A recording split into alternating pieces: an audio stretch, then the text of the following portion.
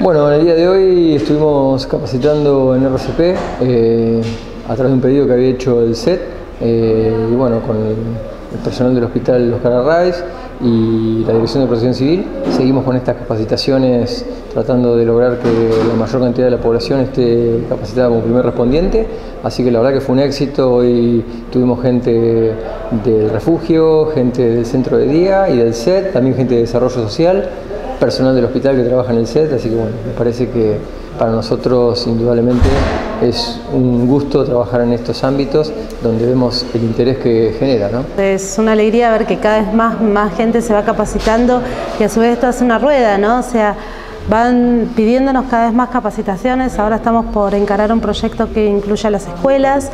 Este, para digamos, que, esto empiece a, ser masivo. Digamos, la, capacitación en RCP y primer respondiente tiene que ser masiva.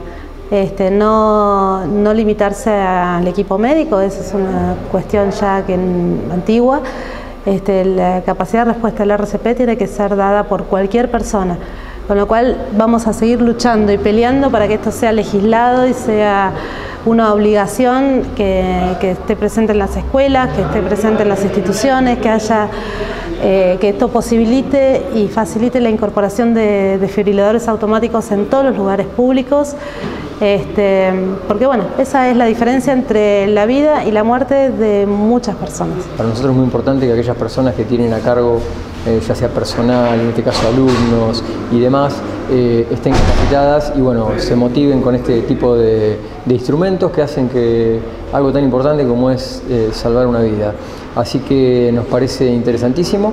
Remarco también y refuerzo esto que dice Silvi, es un pedido permanente que hacemos a las autoridades que realmente tengan, se hagan eco de esto a la hora de, poder lograr que en algún momento haya una legislación donde haya más difibriladores externos automáticos en distintos lugares de eh, audiencia masiva o si no también en el caso de lugares donde se practican deportes también, porque consideramos que todo esto que hoy vemos, hoy en día con el mundo de las comunicaciones, eh, nos llega información de que eventos que han pasado y que personas han salvado gracias a tener los elementos necesarios y personal capacitado. Así que bueno, eh, creo que vamos a seguir insistiendo con lo mismo, como dice Silvina, y buscaremos que se haga eco primero la población, que ya vemos que la respuesta está, y también las autoridades.